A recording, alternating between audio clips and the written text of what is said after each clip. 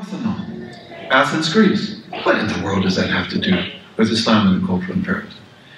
The Ottoman Turks, God bless them, the Ottoman Turks were great. Don't ever believe anyone who says the contrary.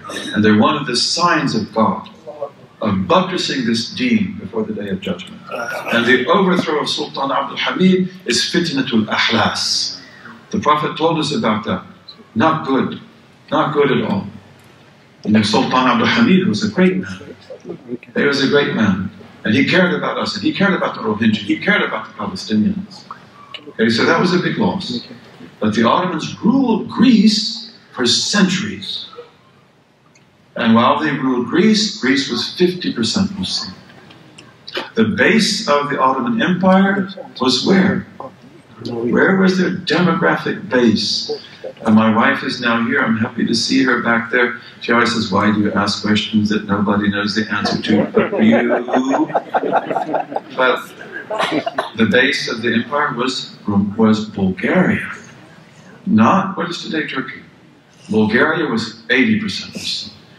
What is today Turkey, Anatolia was 50%. And Anatolia was basically just like Greece. You had all kinds of Greek speaking Christians there. They spoke a slightly different type of Greek than the Greeks of Athens, and so, but they were Greeks, ancient Greeks. And you had Armenian Christians as well. Okay? And Hungary was 30% Muslim. You know, you can go on and on.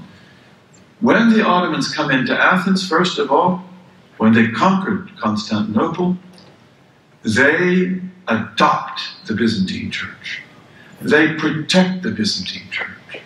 They cleaned up the Byzantine Church, and the Byzantines loved it. I'm sorry, you know, the Greek Orthodox Church. You know, and the Greek Orthodox Church loved them. Don't believe anything to the contrary, because that's not true. They won the love of the Orthodox Church. And the Orthodox Church stood by them faithfully until the end. And of course, now you see that's not the case with Serbia and so forth, but those are all later on. That's nationalism later on. But when they come into Greece, they took the Parthenon. Do you think that offended the Greek Orthodox Church? No.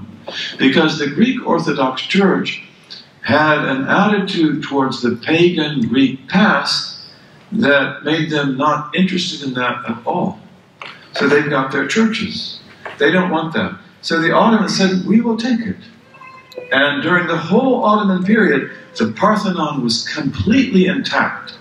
It was blown up by Greek nationalists in the War of Independence in the 19th century. So you see it now in ruins, but during the Ottoman period it was like that. If you go there, you can even see the Arabic calligraphy and so forth. Now, what do you think about that? Was that an intelligent cultural statement? Because, like, aren't you saying to the Greeks that we really admire you? That you know, Toynbee says the most beautiful building in the earth is this one, the Parthenon, and the Blue Mosque. So it's like we will honor the Parthenon. We didn't break any statues, we covered them. Sometimes we plastered over them. So you wouldn't see anything offensive there. But that was our Salatul Jumu'ah. And that's the cultural imperative.